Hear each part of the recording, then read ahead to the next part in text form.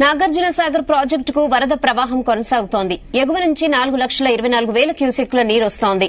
దీంతో అధికారులు ప్రాజెక్టు ఇరవై ఆరు గేట్లను పది అడుగుల మేర ఎత్తి మూడు లక్షల ఎనిమిది వేల క్యూసెక్కుల నీటిని దిగువకు విడుదల చేస్తున్నారు. కుడి ఎడమ కాలువలు విద్యుత్ కేంద్రాల ద్వారా మరో నలభై వేల క్యూసెక్కుల నీరు బయటకెళ్తోంది. జలాశయంలో గరిష్టంగా మూడు వందల పన్నెండు టీఎంసీల నీటిని నిల్వ ఉంచొచ్చు. ఇప్పుడు మూడు వందల ఆరు టీఎంసీల నీరు నిల్వ ఉంది.